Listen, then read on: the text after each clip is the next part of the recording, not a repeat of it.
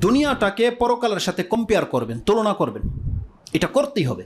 যে কোনো ক্ষেত্রে, যে কোনো একটা ডিসিশনের ক্ষেত্রে আপনি দুনিয়া এবং পরকালটাকে সামনে আনবেন। আপনার জান্নাত এবং আপনার দুনিয়ার নিয়ামতটাকে সামনে আনবেন এবং তুলনা করবেন। এটা যদি তুলনা করতে পারেন, তাহলে আপনি বাঁচতে পারবেন পাপ থেকে শিরকুফরি থেকে। কীভাবে? আপনি একটা রোগে ভুগছেন, অসুস্থ হয়ে গেছেন। আপনাকে এখন জারফুক করলে, তাবিজ দিলে বা কুফুরি কালাম করলে আপনি ভালো হবেন। এটা আপনাকে কেউ বলেছে। আর হয়ও অনেকে। আপনি হবেন হয়তো। এখানে আপনাকে দুইটা জিনিস রাখতে হবে। আপনি কি দুনিয়ার সুস্থতা চান না জান্নাত চান?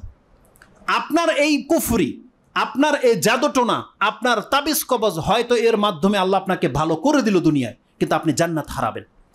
চুজ আপনি করেন, বেছে নেন। আপনি বেছে নেন আপনি কোনটা নেবেন। আপনি দুনিয়ার জীবন চান না জান্নাত চান? এইভাবে যদি আপনি কম্পেয়ার করতে পারেন আপনার জন্য রাস্তা পরিষ্কার হয়ে যাবে। আজকে যারা আমরা তাবিজের কথা যখন নিষেধ করি, কালিকুলি দিতে নিষেধ করি, তারা আমাদেরকে বলে, তাবিজ দিয়ে তো মানুষ ভালো হচ্ছে তো? আরে হবে তো। আল্লাহ ভালো করবে তো আপনাকে। কারণ আপনার যে ফল, যে ত্রুটিটা, ওটা তো আল্লাহর পক্ষ থেকে নয়, এটা তো শয়তান করে, খোঁচা তো শয়তান মারে। আপনার চোখ দিয়ে যে পানি ঝরে, মাথা যে ব্যথা করে, এটা তো শয়তানের কারণে করে। যখন আপনি যেটা সুতা বেঁধে রেখেছেন, শয়তান ওই কাজটা করে না। এখন আপনি সুস্থ। হয়তো তাই বাস্তবতা। কিন্তু আপনি কি করেছেন? আপনার জান্নাতকে হারিয়েছেন। একজন কালো মহিলা, এই কথাগুলো প্রত্যেকটা নেক্সট খুদ্বায় আসবে, কিন্তু এখন যেহেতু রিলেটেডের কারণে চলে এসেছে, আমি নাম্বারিং ছাড়াই বলে দিই।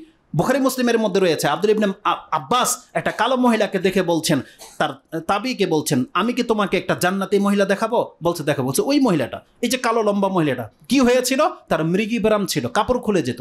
সে এসে রাসুসলামকে বলছেন, ইয়া রাসুল্লাহ আমার দোয়া করে দেন, আমার জন্য, আল্লাহ যেন আমার রোগকে ভালো করে দেয়। রাসুসলাম বলছেন, তুমি যদি ধৈর্য ধারণ করতে পারো অলাকিল জান্না আর যদি তুমি চাও, আমি দোয়া করে দেবো, দোয়া করে দেবো। আর তোমার জন্য একটা মেসেজ হচ্ছে আল্লাহর পক্ষ থেকে, তুমি যদি চাও যে ধৈর্য ধারণ করবে, রোগ তোমার থাকবে, তোমার জন্য এক্ষণ সুসংবাদ এসেছে, তুমি জান্নাতি। সেই মহিলা বলছে, আমি ইয়ারাসুল্লাহ আমার দোয়ার দরকার না, আমি জান্নাত চাই, আমার রোগ হোক, আমি ধৈর্য ধারণ করব। সুবহান আল্লাহ আর আমরা আপনারা কি করি? বলতেছেন, বাবা, যা করতে হয় করবেন, আমার সন্তানকে ভালো করে দিন। যা করতে হয় করেন, আমার পেটে বাচ্চা দিতে হবে। ও যা করার করে দেয়, বাচ্চা দিয়ে দেয় আপনাকে। আপনি বুঝতে পারেন না কি হয়েছে। আল্লাহ সুবহানা হুয়া তালা আপনার পরকালকে ধ্বংস করে দিয়েছে বাচ্চার মাধ্যমে। আপনার পরকালকে ধ্বংস করে দিয়েছে তাবিজের মাধ্যমে, এই কুফুরির মাধ্যমে, জাদুর মাধ্যমে। রাসলম কি বলেছে? যেই ব্যক্তি জাদুর আশ্রয় নেবে, সে তার পরকালকে হারাবে। আর দুনিয়াতে তার বেঁচে থাকার অধিকার নাই। সৌদি আরবে এমন জাদুকরকে পেলে হত্যা করে দেওয়া হবে। তার দুনিয়া তো কোনো অধিকার নাই, জান্নাত তার কোনো অধিকার নাই। আর আজকে আমরা অধিকাংশ মানুষগুলো জাদু, কুফুরি, টোনা এগুলোর মধ্যে দিয়ে ঝুঁকে যাই। তো দুনিয়াকে পরকালের সাথে কম্পেয়ার করতে হবে। সেই মহিলাকে বলা হয়েছে যে, তুমি যদি জান্নাত চাও, তাহলে আমি জান্নাতের ব্যবস্থা গ্যারান্টি দিচ্ছি। তুমি ধৈর্য ধারণ করলে আল্লাহ তোমাকে জান্নাত দেবে। আর তুমি যদি বলো, আমি দোয়া করে দেবো, তাহলে আমি দোয়া করে দিচ্ছি। সেই মহিলা বলছে, না, আমি জান্নাত চাই। তারা সব সময় পরকালটাকে প্রাধান্য দিত। তখন সেই মহিলা বলছে আসলে তবে একটা দোয়া করেন। আমার রোগ থাক, কিন্তু আমার কাপড় যেন না খোলে। মৃগী ব্রাম হলে মানুষের কাপড় খুলে যায় না? লজ্জাশীল মহিলা, কালো মহিলা। কিন্তু লজ্জা কত দেখেন যে রোগ হলে আমার হুঁশ থাকে না, কিন্তু মানুষ হাসাহাসি করে। আপনি আল্লাহর কাছে দোয়া করে দিন, তিনি তো সব কিছুর উপরে ক্ষমতাবান। আমার রোগ হোক যেন আমার কাপড় আমার গায়ের থেকে না খোলে। রাসুসলাম তার জন্য দোয়া করেছে। সাহাবিরা বলছে, মরার আগ পর্যন্ত তার কোনোদিন তার গায়ের থেকে কাপড় সরে যায় নেই। এটা হচ্ছে রাসুসলামের দোয়ার বরকত আর মানুষের মেন্টালিটি আমি আপনাকে দেখাতে চাচ্ছি। তাল্লা সুবহানা হুয়া তালা আমাদেরকে শিক্ষা দিয়েছে যে যদি আপনি দুনিয়া থেকে বাঁচতে চান তার পরকালমুখী হতে চান, আপনাকে দুনিয়ার নিয়ামতগুলোকে জান্নাতের সাথে কম্পেয়ার করতে হবে। দুনিয়াটাকে পরকালের সাথে কম্পেয়ার করতে হবে। সময় যেহেতু চলে যাচ্ছে, আমি শুধু একটা পয়েন্ট শুধু এখানে বলব, বাকিগুলো ইনশাআল্লাহ আজিজ নেক্সট খুদ্বায় আমাদের আসবে। দুনিয়ার সমস্ত কিছুকে যদি আপনি পরকালের সাথে কম্পেয়ার করেন, আমি আগেই বলেছি, আপনি বহু পার্থক্য পাবেন। আপনি দেখতে পাবেন জান্নাতের এগুলো গুণ, এগুলো দুনিয়াতে নাই। আমি সমস্ত গুণগুলোকে আপনি মাত্র সহজে তিনটা কথায় ব্যক্ত করতে পারি। তিনটা কথা যেটা আমি শুরুতেই বলেছি, সেটা কি? দুনিয়ার যত নিয়ামত আছে, আপনি দেখতে পাবেন তাতে তিনটা খারাপই আছে। এক, দুনিয়ার নিয়ামতের মাঝে সংখ্যায় কম কোয়ালিটি যে কোয়ান্টিটি বলে না? কোয়ান্টিটিতে ঘাটতি আছে। আপনাকে বিপুল পরিমাণে দেওয়া হবে না। এটা হচ্ছে দুনিয়া। যদি কোনো ব্যক্তি দুনিয়া চায়ও, তাও আল্লাহ তাকে দেবে, কিন্তু কম। যেটা পরকালের তুলনায় খুবই কম। দ্বিতীয় ঘাটতি কি? আপনি যা সমস্ত কিছু পেয়ে গেলেন, যত নিয়ামত পেয়ে গেলেন, আপনি চাইলে সেটাকে লং টাইম দীর্ঘদিন আপনি নিজের জন্য কুক্ষিগত করে রাখতে পারবেন না। এটা নষ্ট হবেই। দ্বিতীয় খারাপই। তৃতীয় খারাপই কি? ওই গুণাগুণ।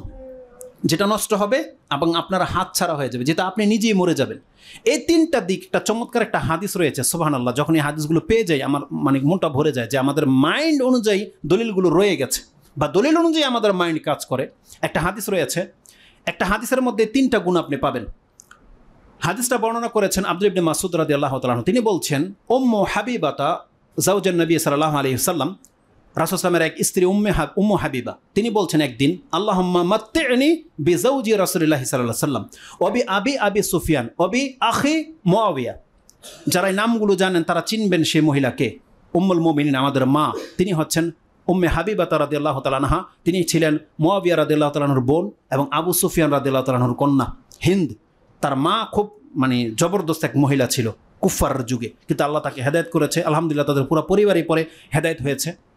এই উম্মে হাবিবা রাদি আল্লাহ তালানহা তিনি বুঝতে পেরেছিলেন যে তার ভাই অথবা তার বাবা সম্পদশালী হবে বা হয়ে তখনও ছিল তারা। তিনি একদিন দোয়া করেছেন আল্লাহর কাছে যে রাসুসলামের ঘরে তো অভাব ছিল। অভাব ছিল না? রাসুসলাম তো ভোগ বিলাসিতাটা নেয়নি। তিনি দোয়া করছেন, আল্লাহ, আমার স্বামীর সাথে যতটা অংশ আমি পেয়ে গেছি, তা তো আমাকে ভোগ করার তৌফিক দান করো। আমি যেন সেটা পাই, সে কল্যাণটা যেন দুনিয়াতে পাই।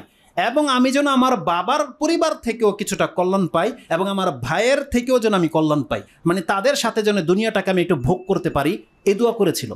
সুবাহান আল্লাহ এটা শোনার পর রাসুসলাম বলছেন, ফকাল আল্লাহ রসুল্লাহ সাল্লাহ সাল্লাম এন্নাকি সাল তাল্লাহা লি আজালিন মদরুবাতিন। তুমি তো আল্লাহর কাছে এমন কিছু চেয়েছ, যেই সম্পত্তির বা যেই জীবনের তিনটা গুণ। একটা কি? আজালিন মদরুবাতিন যেই যুগের বা যেই সময়ের একটাবারে ফাইনাল করে দিয়েছে আল্লাহ, যে তার আজাল লম্বা হবে না। তার মানে তুমি যদি পঞ্চাশ বছর বাঁচো এই পঞ্চাশ বছরেই সেই সম্পত্তি স্থগিত থাকবে। এটা একান্ন বছরে যাবে না।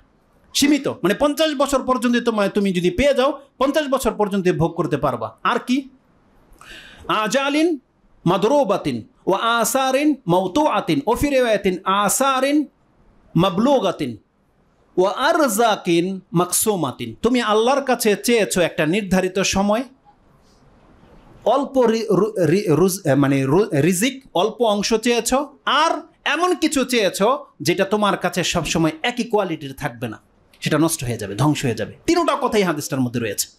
তো রাসুলসাল্লাম বলছেন তাকে, এগুলো এমন কিছু চেয়েছ, লা ইউ জাল্লা কোনো ব্যক্তি এটা কি করতে পারবে না, লা ইউ আজ্জিলু মিনহা শাই আন লা ইউ আজ্জিলু শাই আন মিনহা কাবলা হিল্লিহি ওয়ালা ইউ আখিরু শাই আন ওয়ালা ইউ আখিরু মিনহা শাই আন বাদা হিল্লিহি।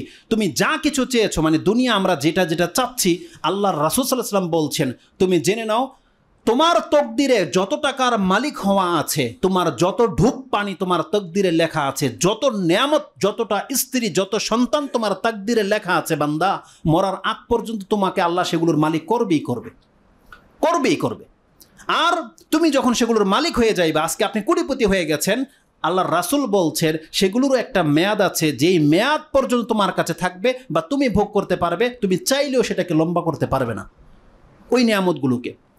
এটা বলার পরে রাসুসলাম বলছেন, যদি তুমি চাইতে আল্লাহর কাছে ওলাকিন সালতিল্লাহা আই ইউ আফিয়াকি মিন আই ইউ আফিয়াকি মিন আজাবি ফিল নারি ওয়ামিন আজাবি ফিল কবর লাকানা খাইরাল্লাকি যদি তুমি আল্লাহর কাছে দুনিয়া না চেয়ে, যদি তুমি আল্লাহর কাছে চাইতে যে আল্লাহ তুমি আমাকে জাহান নামের আগুন থেকে মুক্ত করে দাও এবং কবরের আজাব থেকে আমাকে মুক্ত করে দাও, এটা তোমার জন্য শ্রেষ্ঠ হতো, কল্যাণ হতো। এটা রসুসলাম বলেছে যে তুমি যদি আল্লাহর কাছে জাহান নামের আগুন থেকে এবং কবরের শাস্তি থেকে মুক্তি চাইতে, এটা তোমার জন্য বেটার ছিল। কারণ তুমি তার মানে সাহাবিয়াতরা এমন ব্যক্তি, তারা তো অবশ্যই মোস্তাজাবুদ দাওয়া, আল্লাহ তাদের দোয়া কবুল করে। আল্লাহ যদি তোমার দোয়াতে কবুল করে নেয়, তার মানে তোমাকে যদি আংশিক দুনিয়া দিয়ে দেয়, তাহলে অংশ, এই সামান্য কিছু তুমি এমনি পাবে। তা তোমার দোয়াটাকে দুনিয়ার ক্ষেত্রে কেন ব্যবহার করলে? তুমি যদি আল্লাহর কাছে দোয়া করতে, আল্লাহ কবর আজব থেকে আমাকে মাফ করে দাও, জাহান্নামের আগুন থেকে আমাকে মাফ করে দাও, আল্লাহ তোমাকে মুক্ত করে দিত। ওটা চাও, ওটা বেশি কল্যাণকর। এই হাদিসটি ইমাম মুসলিম, তিনি তার ইমানের অধ্যায়, তিনি তার কিতাব তাকদির সাতচল্লিশ নম্বর অধ্যায় এনেছেন, হাদিস নাম্বার হচ্ছে ত্রিপল সিক্স থ্রি তা আমি আর আগে বাড়তে পারছি না, যেহেতু সময় খুব মানে এই হয়ে গেছে। তিনটা গুণ আমাদের বাকি থেকে গেল। যে তিনটা দিক নিয়ে আমি আলোচনা করব, যে দুনিয়ার তিনটা খারাপই আছে, যে সম্পত্তি আপনি পেয়ে গেছেন খুব কম পেয়েছেন, আর যেই সম্পত্তি আপনি পেয়ে যাবেন সেগুলোকে আপনি স্থায়ী করে রাখতে পারবেন না, এবং আপনার নিজেরও স্থায়িত্বতা নেই। কিন্তু আল্লাহ সুবাহ তালা বলছেন বালতো সিরোন আল হায়াত দুনিয়া কিন্তু তারপরেও তোমরা দুনিয়াকেই বেশি প্রিফার করো, দুনিয়াকেই প্রাধান্য দিচ্ছ। ওয়াল আখিরাতো খাইরো ওয়া আবকা কিন্তু পরকাল খায়ের, আল্লাহ বলছেন, উত্তম ও আবকা আল্লাহ বাকি শব্দটা বলেছে, দুনিয়া তোমার বাকি থাকবে না, কিন্তু পরকালটা তোমার বাকি থাকবে। একটা হাদিস বলে দিয়ে আমি আজকে এই পর্বটাকে স্থগিত করে দেবো, সেটা হচ্ছে এই রাসুসলাম বলছেন, কোনো ব্যক্তি যদি দুনিয়ার সাথে তার পরকালের জীবনের সাথে দুনিয়ার জীবনটাকে বুঝতে চায়, তাহলে এছাড়া আর কিছুই নয়, সে কি করুক? মুস্তাউরিদান বানি আখি ফেহরিন, তিনি বলছেন, সামিয়ত রাসুল সাল্লাহ আলহি ওয়াসাল্লাম কুল মা মাসালুদ দুনিয়া অফিরিয়াতিন মা দুনিয়া ফিল আখেরা। দুনিয়ার উদাহরণটা হচ্ছে পরকালের সাথে, মা মাসালি দুনিয়া ফিল আখেরা দুনিয়ার সাথে যদি আপনি পরকালের জীবনটাকে কম্পেয়ার করেন ইল্লা মিসলু, এতটাই হবে কতটা? আইয়া যে আলু আহাদুকুম ইসবাহু ফিলিয়াম্মে ফালিয়ানজুর বিমা তার যে ও কোনো একজন ব্যক্তি সমুদ্রে চলে যাক, সমুদ্রের কিনারায় আসুক, এসে তার আঙ্গুলগুলোর একটা আঙ্গুল সে সমুদ্রে ডুবিয়ে দেখ সোম্মা ইয়ার যে সোম্মা ইয়ানজোর বেমা তার যে ও সে দেখুক তার আঙ্গুল কতটা পানি এনেছে সমুদ্র থেকে? হাদিসের মধ্যে দুইটা শব্দ আছে, একটার মধ্যে রয়েছে সাব্বাবাতা, আরেকটার মধ্যে রয়েছে ইবহাম। যে কোনো হাদিসে আছে যে সে তার ইবহামটাকে, বুড়ো আঙুলটাকে ডুবাক, কোনো হাদিসে আছে তার সাব্বাবাটাকে ডুবাক। পার্থক্যটা কি? যে কোনো একটা হলেই হতো, কিন্তু দুইটাকে আমি কেন কোট করলাম? কারও কারও সম্পত্তি এত বেশি যেটার ফোঁটাটা হবে এই মোটা আঙুলটার মতো, তার মানে পানির ফোঁটাটা মোটা হবে। আর কারও কারও সম্পত্তি এতটা কম যে এটার মতো মোটা হবে, তাই না? দুই ধরনের ব্যক্তির এই সামিল। তার মানে পুরো পৃথিবী বুকবিলাসিতায় পেয়ে গেছে, অনেক নিয়ামত পেয়ে গেছে, তার অবস্থা হচ্ছে এই আঙ্গুলের পানির ফোঁটার মতো। আপনি সমুদ্রে রাখেন, গ্লাসে নয়, সমুদ্র বলছে রসল্লা সমুদ্রে সে রাখুক, বের করে নিয়ে আসুক। এই আঙ্গুলের সাথে যতটা পানি উঠে আসবে বান্দা, এটা তোমার দুনিয়া। এটা তোমার দুনিয়ার যৌবন, যদি যৌবনের সাথে কম্পেয়ার করেন, তার মানে আমাদের প্রত্যেকের একটা যৌবন লাইফ কেটেছে, তাই না? যে যৌবনের কারণে আমরা পাপ করি, সেটা পনেরো থেকে নিয়ে আপনি চল্লিশ বছর পর্যন্ত ধরে নেন। রাসুল বলছে, তোমার এই যৌবনটা হচ্ছে দুনিয়ার ওই সমুদ্র তুলনায় একটা পানির ফোঁটা। আর ওই যে সমুদ্র দেখতে পাচ্ছ, এটা তোমার পরকালের যৌবন, যেটা কোনোদিন হ্রাস পাবে না।